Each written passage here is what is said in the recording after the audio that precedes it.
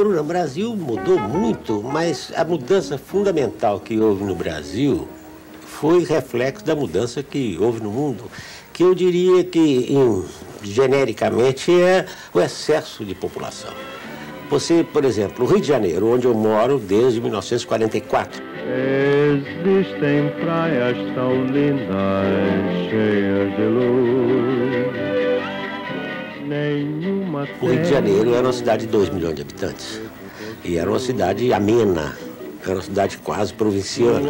E hoje é uma cidade que tem problemas gravíssimos e que estão sendo resolvidos, mas como os problemas que tem em Nova York, como o problema que tem as grandes cidades com densidade populacional. Esse é o primeiro problema. Agora, o Brasil mudou também como decorrência de, de, de mudanças havidas no mundo inteiro depois da guerra. Haja vista essa mudança sensacional que é debacle, a queda do mundo social comunista né, na, na Europa Oriental. Isso tudo é uma coisa que se reflete muito no Brasil. E o Brasil está. Tá, eu, eu sinto o Brasil assim como um país meio adolescente ainda. Está começando a virar homem. Por exemplo, teus livros mais antigos retratam um mundo eh, que o- o- os mais novos eh, retratam da mesma forma? Há uma diferença entre Ô, ô, Bruna, é trabalhos? difícil responder essa sua pergunta, muito difícil, porque os meus livros não são livros que procuram retratar o mundo nem nada. Os livros procuram apenas é, é, me ensinar aquilo que eu não sei para eu poder ficar sabendo a meu respeito. Sabe? É muito diferente a minha postura como escritor da postura de um sociólogo, de um, de um humanista, de um político, de um. E não é, Eu- Fernando, eu- porque você contando esse cotidiano, você está analisando, você sempre, mesmo quando você escreve, um, quando você faz um caso policial, você está retratando aquela vida. Mas eu não sei. Ah, você não que tem sabe como leitor, eu não tenho consciência. disso. Ah. E eu escrevo fundamentalmente sobre aquilo que eu não sei para ficar sabendo. Eu nunca sei o que eu vou escrever, eu nunca sei por quê e nem o que que eu vou escrever. Compreende? Meu coração. Mundo, mundo, vasto mundo, mais vasto é o meu coração. Bem mais ou menos feito um sonho. Você vai sonhar, mas você não dirige o sonho. Eu quero, eu vou dormir, quero sonhar com Bruna Lombardi, acabo sonhando com um grande hotel. olhos teus resolvem se encontrar. Ou vice-versa. Você escreve muito também sobre o menino que você foi. Né? Você tem essa busca de um passado. Por quê? Você sabe por quê? Eu cheguei à conclusão, isso é- é- é- eu posso te explicar rapidinho. Eu tinha uma grande admiração por Ernest Hemingway. Achava que era o grande escritor do nosso tempo, um sujeito machão assim na literatura. Dizia assim: eu lutei o primeiro round com Turgenev e ganhei. Lutei o segundo round com Flaubert e ganhei. Agora só falta lutar o último round com Tolstói. E perdeu, né? Eu, eu então queria lutar com Hemingway, né? E ganhar. Mas ele aí se suicida, né? Então, o, o, o, o necrológio do Hemingway, do Time, dizia assim, ele era um homem que olhava tudo como se fosse pela última vez. Talvez daí ele ter se suicidado.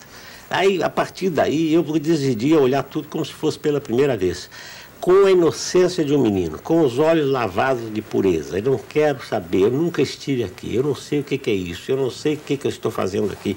Eu quero aprender, eu quero ver. E, e quero surpreender o que há de inédito nas coisas. Daí eu gostar de viajar, porque você viajando, você consegue ver as coisas de uma maneira inédita, né? Você nunca esteve ali. Eu, às vezes, tomo um ônibus assim na cidade venho para venho para casa e imagino que eu seja assim um, um, um- turista argentino, sabe? Pera, que coisa bonita, assim, Copacabana. Imagino só que eu estou vendo pela primeira vez e fico olhando com a curiosidade de um menino que chegou, acabei de chegar. Eu gostaria de nascer todo dia, toda manhã, renascer, desaprender tudo. Eu prometo 20 Ave Marias e 20 Padre Nosso se o trem parar. Não interessa se eu morrer, o trem tem que parar. E essa busca dessa inocência, desse olhar inédito sobre as coisas, de ver o mundo como se fosse pela primeira vez, como você consegue isso? Nem sempre eu consigo, né? Eu vou ficando muito malandro, muito sabido, muito safado, muito ordinário, muito malandro. Que não quero me meter nessa, porque isso é uma fria e tal. Isso tudo te, é uma defesa que o mundo adulto cria para você. E essas deformações que te impõem. Mas através da imaginação você chega lá. É que, que eu tenho, você já segundo você me disse, já leu aquele livro meu chamado Tabuleiro de Damas, que se baseia numa, numa metáfora que o tabuleiro de damas não é nem branco com quadrados pretos, nem preto com quadrados brancos. É de é de uma outra cor. cor. E esta outra cor é que eu quero ir buscar. Eu não acho que a realidade nos ofereça. A verdade está além da realidade. Lá onde só a imaginação alcança. É através da imaginação. Olhar um passarinho às vezes é muito importante.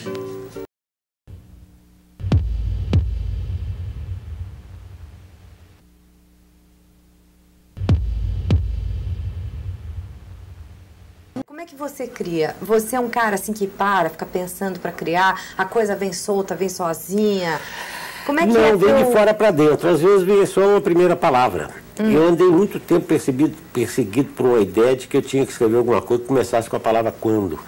Quando? É. Hum. Mas depois eu descobri que grandes escritores, grandes escritores antes de mim, tiveram coisas semelhantes. Por exemplo, Dostoiévski tinha a ideia de escrever um livro que começasse com a seguinte frase. No dia 13 de outubro de 1800 e não sei quantos, aconteceu-me uma aventura extraordinária. Ele foi, levou um tempão. Ele escreveu um livro chamado Humilhados e Ofendidos, que começa com essa frase. O, essa de Queiroz tinha uma frase assim. Começou por dizer que seu caso era simples e que se chamava Macário. Ele só sabia isso. Mas e você? Como é que você Às vezes faz? eu começo com uma, uma frase, uma palavra, uma ideia qualquer, assim, meio inconsciente. Como, eu- bem, é como eu te disse, é, uma- é quase que uma necessidade de sonhar acordado. Você está tentando dizer alguma coisa e não sabe o que é. Você sente que está assim, com necessidade de transmitir e você fica, às vezes, é, um- é uma frase ouvida. Eu fiquei tão impressionado com esse processo de criação que eu saí perguntando a, a outras áreas de criação como é que isso acontecia. Eu, por exemplo, procurei o Sclia. Falei, ô Sclia, você é pintor. Você, como é que você pinta? Você já sabe que você vai pintar? Eu falei, não. Eu fico olhando para a tela em branco, tenho certeza que tem uma coisa ali. Eu tenho que des- desenterrar alguma coisa que está ali. Às vezes eu penso que é um rosto de mulher e acaba sendo uma cafeteira, ou vice-versa. Né? Eu perguntei ao Tom Jobim, falei, Tom, como é que você faz negócio de música? Você se inspira assim, um- uma lembrança da infância, uma melodia eh, que você ouviu cantar, um, um som de voz de mulher, enfim, uma risada. O que que... Ele falou, não, não é nada de, não é nada de auditivo, não. É uma coisa assim, às vezes é uma nuvem andeja. Foi uma nuvem o quê, Tom? Andeja é coisa de Guimarães Rosa. Você está lendo Guimarães Rosa. É, você para na folha em Também branco, fico você em escreve branco. muito texto. Eu encontrei num escritor americano uma definição que era assim: escrever é muito fácil. Basta você ficar olhando para o papel em branco até começar a porejar sangue da sua testa. Outro disse que não, basta abrir uma veia. Agora, eu não abro veia nem deixo porejar sangue. Então eu não tenho noção. Eu escrevo para ficar sabendo. Então quando eu escrevo, eu fico louco para descobrir alguém que fala o que foi que eu fiz. Como é que é? O que quer dizer isso?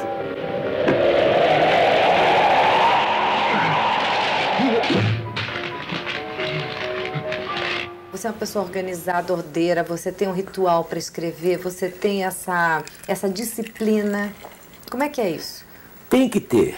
Tem que ter pelo seguinte, eu tenho que dedicar pelo menos quatro horas por dia para escrever, quatro horas, pelo menos quatro horas, durante as quais eu não posso fazer rigorosamente nada. Então eu tô, tem duas imposições. Uma é que eu não posso fazer rigorosamente nada. Eu não posso atender telefone, não posso tomar um uísque, não posso ler correspondência, ler jornal, não posso nada. Agora, posso é uivar para a lua, compreende? Deitar no chão e chorar, isso eu posso.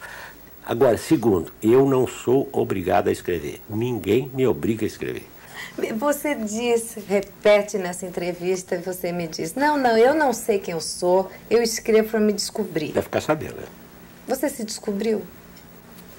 Infelizmente não, por isso que eu continuo escrevendo. Eu não tenho nada que Tá dizer, certo. senão que a única coisa que eu descobri foi o meu epitáfio. Que eu descobri que eu gostaria de merecer esse epitáfio. Aqui jaz Fernando Sabino. Nasceu o homem e morreu o menino.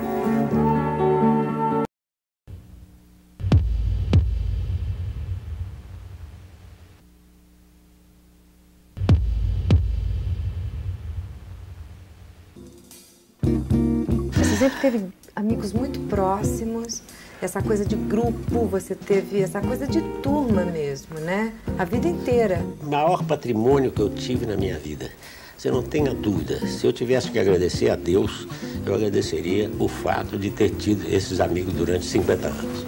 Isso foi maravilhoso. Eu já me dou por bem pago e por satisfeito. Maravilha. E qual o segredo de conseguir manter uma amizade durante 50 anos? Durante o segredo é que a tempo? gente nunca se entendia. Hum. Brigava o tempo todo, discutia o tempo todo.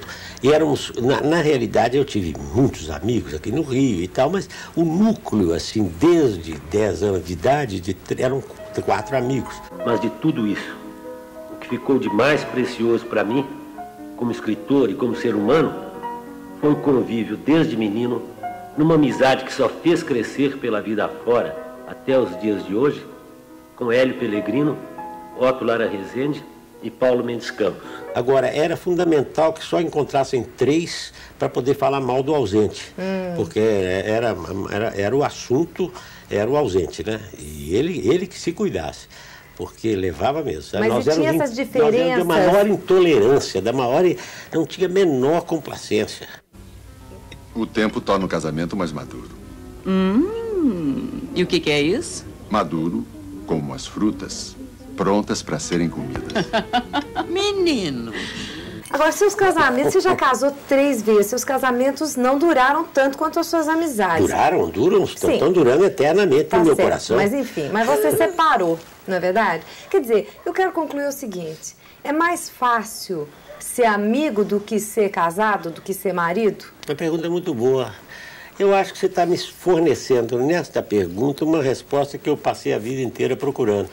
Eu acho que você tem que ser, além de marido e mulher, amante e amante, ser o homem da sua mulher, ser o amigo da sua mulher. Eu acho que se a mulher fosse amiga do seu marido e o marido fosse amigo da sua mulher, eu acho que resolvi o problema assim. Mas há uma, uma guerra, uma guerra do sexo aí que, que é permanente desde que o mundo é mundo, né? Já visto Adão e Eva, né?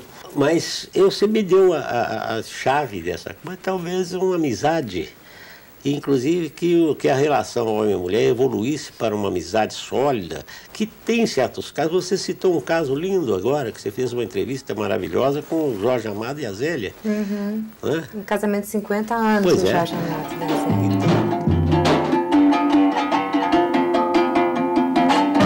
Você que fez tanto sucesso, faz tanto sucesso, tem edição de 60, 60 edições de um livro, você ficou rico? Você está riquíssimo. Tô. Eu tenho um apartamento de 64 metros quadrados. E tenho o equivalente ao valor desse apartamento numa, numa, numa, numa caderneta de poupança. Poxa, Mas, é uma beleza. E um carro. E um telefone. E como é que pode um, um cara de tanto sucesso assim não estar tá multimilionário? Gozado, né? Não, porque o Literatura, sucesso então, não dá literário não dinheiro? enriquece ninguém não, que eu Ah. saiba não. Você sabe o que, que dá muito dinheiro? É, é, é o dinheiro rápido. Não é? Eu, por exemplo, hoje eu posso dizer que eu vivo do que eu escrevo, mas eu tenho que viver modestamente. E ao longo da vida eu tive também muita despesa. Eu tenho sete filhos, né? Que eu saiba. Né? E mais outro tanto de netos também, né? De modo que são pessoas que estão sempre. Hoje não, porque eles já são adultos e tal.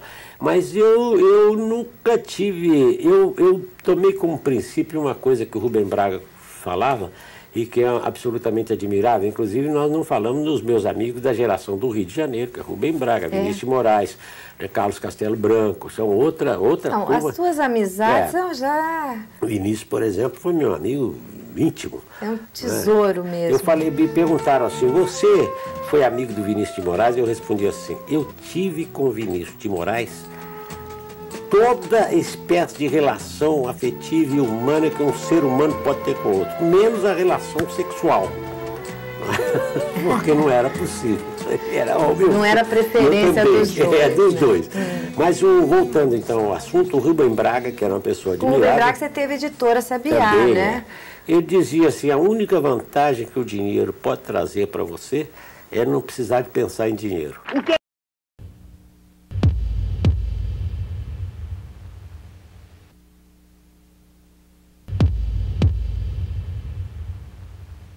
Essa perda de, desses grandes companheiros, você perdeu um grande diálogo. Você perdeu. Hum, absolutamente. Eu dialogo com eles todo dia. Ah. Eu tenho conversas intermináveis com o Ed Pellegrino, com o Atlas Regênio, com o Carlos Cadê. Na outra eu conversei muito com o Castelinho sobre o, o, o, o Chateaubriand. E Eu- como é que é? Você conversa então com eles? Converso. E como é que, como é que funciona? Você sente essa presença? Certo, o Hélio subia muito, por exemplo. De vez em quando ele dá uns assobios e tal. Ah, é? para com isso. você vai acabar tendo a impressão de que eu, e você e os telespectadores de que eu estou meio doidinho, né? É. Não estou porque eu sempre fui, meu bem. Essa é porque é a diferença. Sabe? Ninguém se percebeu disso. Uai, isso aqui é merda? Parece que me persegue. Te assusta a ideia de isso morrer? Não, não assusta não. Não? Não, nada, nada, nada. Sabe? Nada, nada, nada. Pelo seguinte, porque a gente já vem morrendo há muito tempo, né? Desde que nasceu, quer dizer, vamos dizer isso, né? E a partir de determinado momento você já está ah, ah, familiarizado com essa ideia. Para dizer a verdade, eu não gostaria de, de ser surpreendido de uma maneira hum, ridícula ou desagradável. Eu gostaria de aceitar aquele poema do, do Manuel Bandeira. Quando a indesejada das gentes chegar, eu quero que ela encontre a porta aberta, a mesa posta e cada coisa em seu lugar. São Paulo disse às viúvas: Todavia, se não tem continência, casem-se. Epístola aos Coríntios, número 7, versículo 9. Eu sempre tive, desde que eu me entendo por gente, uma tendência para o humor e para um- uma, uma coisa que eu chamaria de religiosidade, a falta de melhor palavra. Mas, e que o humor repele um pouco, mas a palavra é essa. Eu descobri num caderno que eu tinha anotado coisas que eu anotava em 1947, portanto com 20 e poucos anos, em Nova York, uma frase do Kierkegaard que dizia da relação entre a comicidade, o humorismo e a enunciação das verdades. E eu punha assim, haja vista a expulsão dos vendilhões do templo por Jesus ou o, o- a, a vara de porcos que caiu no mar possuída pelos demônios que ele tirou de um cidadão. Isso, tantos anos depois, voltou com a ideia que eu tive de fazer uma leitura fiel dos evangelhos segundo o humor de Jesus, que era um ser humano e que tinha senso de humor, tanto bom como mau humor, a despeito de ser Deus. Ele era homem verdadeiro e Deus verdadeiro. Eu escrevi esse livro com a graça de Deus. E a graça de Deus é, é em dois sentidos. É a graça de ser, eh, de nos dar a bênção da sua existência. E a graça do e, e humor. com G maiúsculo e a graça dele ser engraçado. Não há nada mais engraçado que Deus ter mandado o filho dele ser homem feito a gente. E esse homem feito a gente ter vivido, comido, bebido, dançado. Ele, ele gostava do seu vinho, ele era chegado a, a tomar um vinhozinho e tal. Ele gostava de festas, ele gostava Do de, ritual. do ritual e tal. E ele viveu, teve companheiros, amigos, e viveu, cresceu, viveu e morreu na cruz para nos salvar. Agora, ele teve uma vida marcada por uma postura extremamente humana e todo, com toda a fragilidade que caracteriza um ser humano, com a diferença de que ele tinha essa dimensão divina que nós não temos, mas que ele nos propiciou, que ele nos ofereceu de mão beijada. Quem quiser que venha comigo. E eu fui. Fernando, uma delícia conversar com você. Tá bom. Muito obrigada por Você não entrevista. imagina como a recíproca é verdadeira.